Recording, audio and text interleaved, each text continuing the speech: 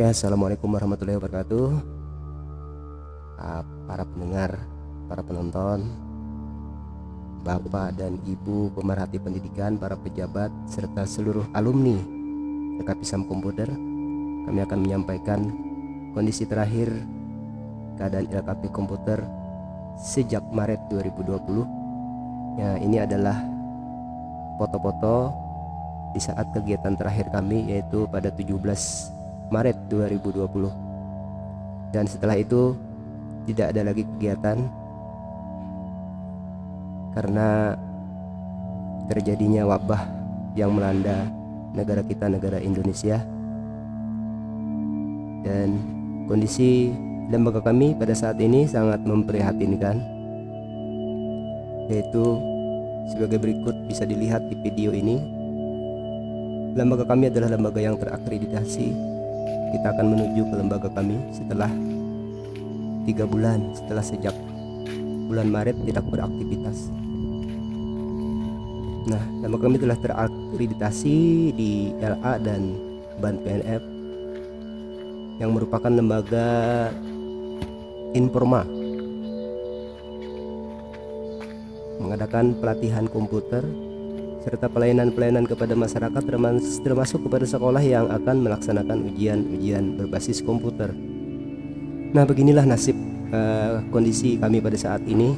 Bangunan kami terendam air, nah, sehingga peralatan-peralatan semua harus kami angkut ke tempat yang lebih aman dan tidak mungkin lagi ditempati di sini karena kondisinya sudah terendam air dan tepat sekali musibah yang datang bersamaan dengan terpuruknya kondisi lembaga kami kondisi bangunan kami. Nah ini adalah ruang teori yang biasanya kami teori di sini.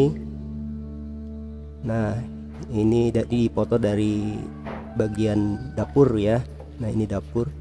Nah ini adalah bagian praktek. Ini mejanya sudah kami lipat-lipat komputernya juga sudah diangkut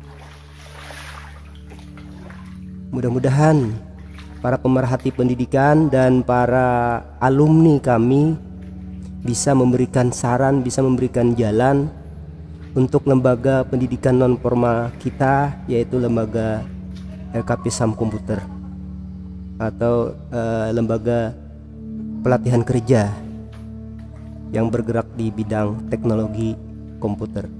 Jadi kendala akan datang adalah bangunan kami yang semakin uh, terpuruk ya, nyaris tak bisa digunakan lagi dengan kondisi yang bisa Bapak lihat sekarang yaitu terendam air dan di atasnya atapnya juga bocor lantainya juga sudah hancur. Nah setelah sejak Maret 2020 hingga sekarang tidak lagi bisa dipergunakan. Ya. Oke para pendengar semuanya para penonton atau youtuber yang kebetulan menyaksikan video ini mohon diberikan komennya diberikan sarannya uh, bagaimana uh, penyelesaiannya bagaimana caranya untuk bisa memperbaiki atau setidaknya merehab bangunan ini. Mudah-mudahan ada yang bisa memberikan jalan khususnya para alumni saya. Alumni LKP Sam Komputer yang mungkin juga ada punya kenalan dengan para pejabat yang pemerhati terhadap pendidikan. Walaupun lembaga kami adalah lembaga informal namun juga tetap memberikan sumbangsih terhadap pembangunan sumber daya manusia di negara kita ini. Oke semuanya mudah-mudahan apa yang saya tampilkan ini bisa menggugah hati para pemerhati pendidikan para alumnis para, para alumni dari lembaga kami uh, amin ya rabbal amin demikian assalamualaikum warahmatullahi wabarakatuh